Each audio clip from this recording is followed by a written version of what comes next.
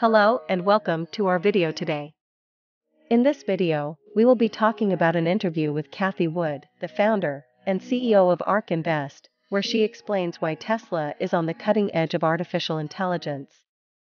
Cathie Wood, an investment manager who is known for her bold and unconventional predictions, has recently shared her thoughts on why companies that utilize AI with large data sets will control the future.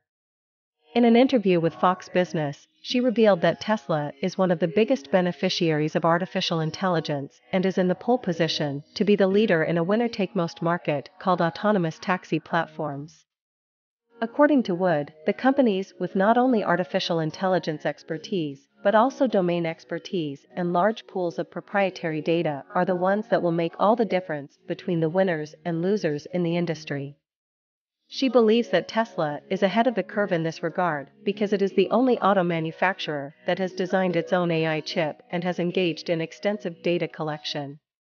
Between now and 2030, the revenue opportunities from autonomous taxi platforms are expected to be between $8 trillion and $10 trillion, up from $0 in revenue now, according to Wood.